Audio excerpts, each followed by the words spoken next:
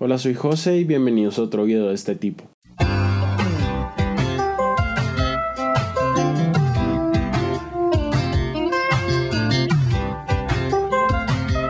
Bueno, seguramente a algunos les ha pasado esto, que uno se levanta por la mañana medio aburrido, como cansado, sin ganas de hacer nada, y lo primero que hace es entrar a Instagram o a Twitter y encuentra una de estas frases con el fondo así de paisaje o de atardecer diciendo algo tipo, ríete todos los días y no habrás desperdiciado ni un solo momento de tu vida. O mejor aún, a veces sale este influenciador que es súper emprendedor con algo, hoy voy a conseguir todo lo que me proponga. Y uno es como, de verdad, de verdad.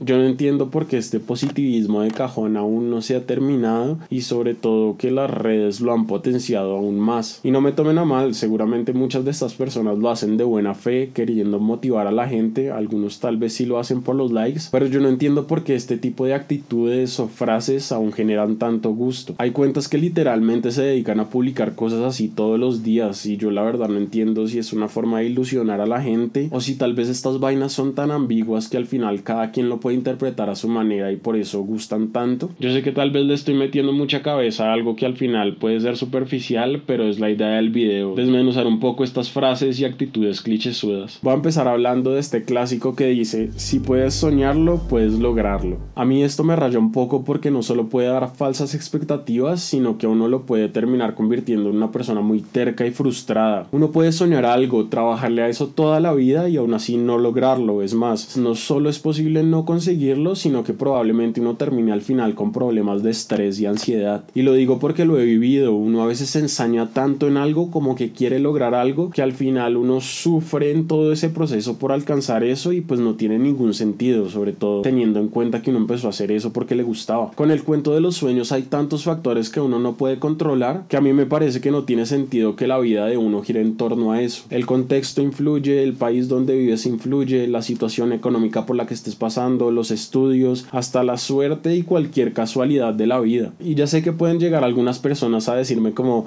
hey, casos como los de Walt Disney o Steve Jobs con Apple o cualquier artista que creció en un entorno difícil y que ahora la rompió, ¿qué? Y es que esos terminan siendo casos puntuales y bueno, primero Disney y Jobs se llevaron a un montón de gente por delante para lograr lo que lograron y segundo son uno en un millón que lo intentaron, solo que a nosotros siempre nos llega y nos conmueve la historia exitosa, obviamente. En Netflix hay una serie documental que me parece severa que se llama como Perdedores o Losers y nos cuentan las historias como de grandes perdedores en el deporte. Entonces básicamente nos cuentan el relato del lado de la persona que perdió y pues obviamente es una perspectiva completamente distinta. O por ejemplo en uno de los documentales que más amo sobre música que se llama Anvil, la historia de Anvil, que se trata sobre esta banda que compartió escena con Metallica, Anthrax, Slayer y todas estas grandes bandas de metal, pero ellos fueron los únicos de esta oleada que no lograron el éxito entonces en el documental nos muestran cómo ellos sobrellevan eso, cómo siguen intentando hacer música sin un peso y pues es muy fuerte pero es una visión que casi nunca muestran como el lado de la historia que no ganó, el que no fue exitoso. Es decir, piensen en todos los programadores que intentaron hacer lo mismo de Steve Jobs y no lo alcanzaron. Estoy seguro que deben ser cientos y estoy seguro que no dirían cosas como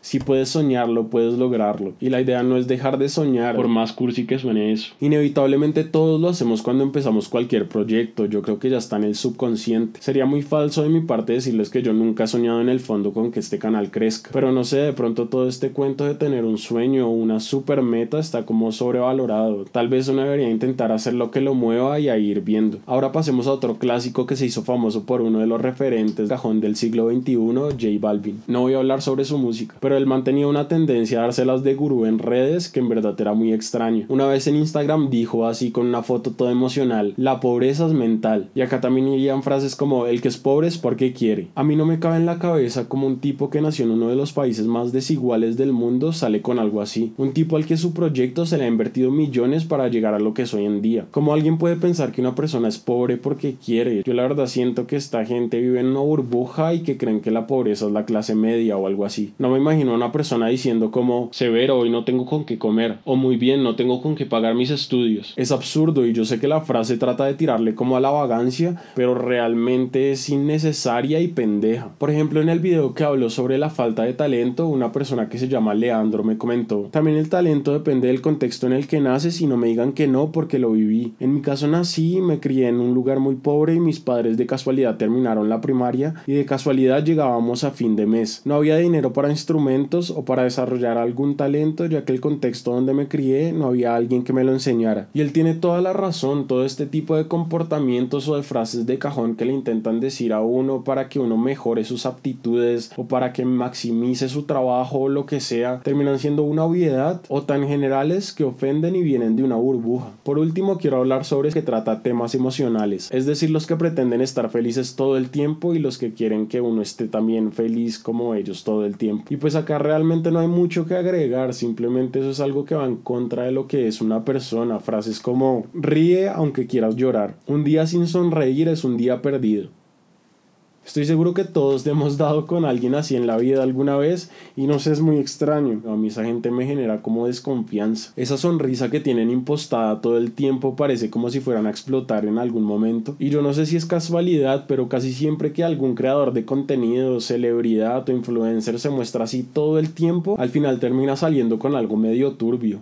Y bueno, ni hablar sobre los que tratan de dar cursos de 5 minutos para superar vainas como la depresión, casos como el de una youtuber colombiana que decía que la depresión se curaba viendo atardeceres, que tan apartado no tiene que estar de la realidad para decir algo así, es decir, por lo menos que busquen Google o todos tenemos un conocido que sufre algo tan duro como la depresión, que es algo que finalmente no se cura. Entonces no entiendo cómo puede salir a decir eso teniendo millones de seguidores jóvenes donde algunos pueden estar sufriendo de eso. Y por eso quería hacer este video, porque el positivo positivismo de cajón salen estas cosas. Básicamente se convirtió en una bandera de las nuevas celebridades para caerle bien a todo el mundo, cuando sinceramente creo que genera una falsa idea de la realidad y es una versión distorsionada por la burbuja en la que vive esa persona. Y obviamente esto también aplica con otras actitudes que están usando para mover gente. Por ejemplo, el otro día leí un término que es el sad fishing, que es usar la supuesta tristeza para algún fin, en este momento claramente para ganar seguidores. Entonces están subiendo fotos o videos llorando, diciendo que están deprimidos de la forma más superficial posible y pues nada, todo esto es muy paila. El caso es que díganle no al positivismo de cajón, a menos que sea algún familiar cercano o la tía que manda cadenas por WhatsApp, pues todo bien, pero de resto no le copiemos más a eso.